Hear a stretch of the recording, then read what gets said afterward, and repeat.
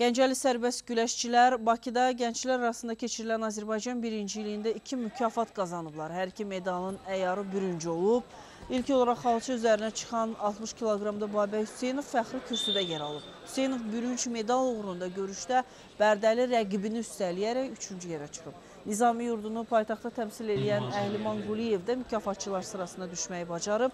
84 kiloqramda çəkidə güləşən e, gənc pəhləvan finala gedən yolda uduzsa da rəqibinin həll edici görüşə yüksəlməsi ona bürünc medal e, qazanmaq şansı yaradıb. Quliyev isə bu fürsəti maksimum dəyərləndirib və Bakıdan olan həmkarını məğlub etməklə yarışa 3-cü sırada tamamlayıb.